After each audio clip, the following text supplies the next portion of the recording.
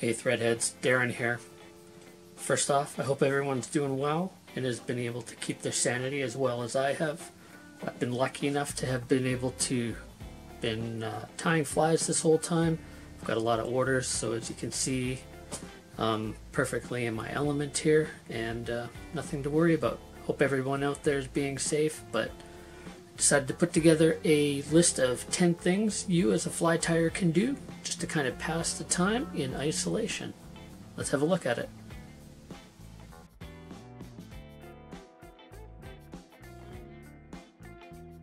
Number one, read about fly tying and fly fishing. I'm sure if you're anything like me, you've got a few books that you need to crack the spine on. I'll admit I'm guilty of skimming many of the books and magazines in my own library, but there's certainly some merit in getting immersed into a retelling of adventures had by others. I get inspired to add a few new places that I'd like to visit over the season, as well as get interested in a few different techniques, and of course, I'm going to be introduced to a bunch of new fly patterns that I haven't tried before. Number two, reorganize your fly boxes. Now here's a great opportunity to pull out all 34 of the fly boxes that you own and get the flies in all of those boxes organized. I like to keep my boxes divided into similar fly types, and I have boxes for chironomids, eggs, worms, nymphs, beadhead nymphs, tungsten beadhead nymphs, rabbit strip streamers, featherwing streamers, bucktails, dry flies, big dry flies, steelhead, bass, pike, leeches, etc. Also like to put together specific boxes for different locations, uh, certain rivers that I'm going to fish, just so that I have a nice selection of flies when I get to the river. And I don't have to bring six or seven of my boxes just to make sure I've got a good selection of flies. Number three, order some new fly tying materials. No doubt there are a few different fly tying materials or hooks that you might have either run out of or just can't seem to find in that huge pile of fly tying materials that you keep on your desk. In that case, why not support one of your favorite fly shops or an online retailer? Most of them are still open during this time, but might have reduced hours, so just check before you place an order. You might want to finish reviewing this list before you submit your order, as you might feel the need to add a few more items to your cart by the end of it. Number 4. Start a new fly tying project. Is there a set of flies you've always thought about tying? Now might be the perfect time to dig in and start perfecting your methods. Some of the interesting ideas I've seen are to recreate the flies from a specific book or collection. If you're ambitious, you can take on some of the larger sets like the Bergman Wet Fly series or the Carrie Stevens Featherwing Rangeley streamers and tie them to frame them up. If you have a favorite fly tying book, why not tie your way through the entire book? If you're a member of the Fly Fishers International, you could put your focus on completing the Fly Tying Skills Awards. There's three different levels bronze, silver, and gold. That should keep you busy for a while. Number five, clean up your fly tying bench and organize your materials.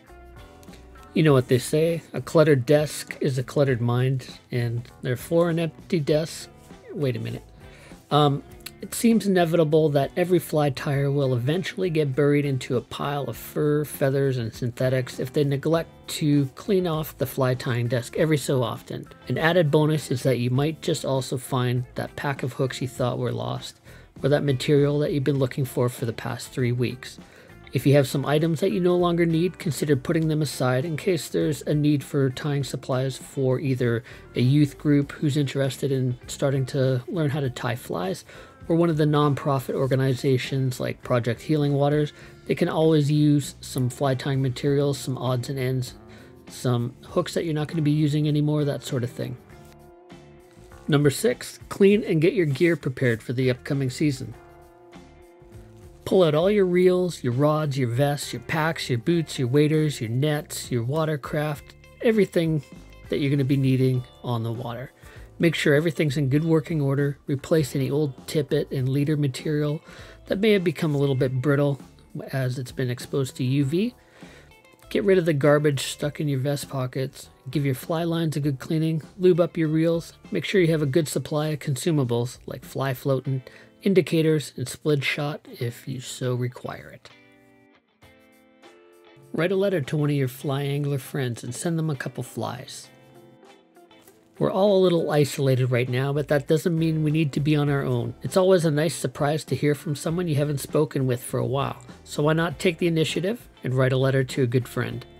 It's a great time to swap a few stories from last season's adventures, uh, send some fly patterns you think they might enjoy, and uh, maybe even slip in a photograph or two. You could even invite them out for a day on the water when conditions improve and you're both up for it. It'll be just as welcomed. And don't forget to share some of your adventures on your social media with some of your good close friends. Number 8, start planning a few trips for the upcoming season. I know spring is getting close when I start looking for new spots to hit in the upcoming season. Most provinces and states have published fishing regulations that are a great starting point for finding a new location to wet a line. Do some research on where to park and how to access the water. I like using Google Maps and Google Earth. It's a great resource for checking out the potential spots. You can even find a few pockets that you might not have otherwise seen. Find out what kind of water conditions to expect and which species live in the water that you're planning on targeting. And put together a selection of flies that you can ensure you've got a good chance of success with. Number 9. Watch some fishing videos and fly tying videos. It's incredible just how many great fly tying videos there are right now. In particular, the fly tyers of YouTube are cranking out an epic level of fly tying content. There are also tons of fishing videos from conventional gear anglers and fly anglers alike. These are great ways to get some info on getting out to explore new water and to learn about some new skills you're interested in trying out, as well as getting into a whole slew of new fly patterns to try out for this upcoming season. Be sure to leave a comment, even if it's just to say hi or thanks for the video. Video creators love that sort of thing and it keeps them motivated to keep making more videos. Don't forget to subscribe to the channels that you really enjoy and give thumbs up. Be sure to keep things on the positive side and ask questions if you do have any. And number 10, of course, tie some flies.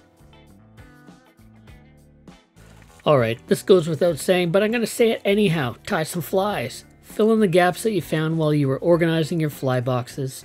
Take on that fly tying project. Try out your new fly patterns you've seen on YouTube and the ones that you got from your friends who sat down and wrote you a letter. Break out the material you bought for that one obscure pattern and tie a few to try out for the upcoming season. It doesn't matter, just keep a hook in your vise. Do you have any other ideas for fly tyers to help them pass the time? Leave your suggestions down in the comments below. Don't forget to smash the like button and subscribe to the channel. Until next time, this is Darren saying keep a hook in your vise. Cheers.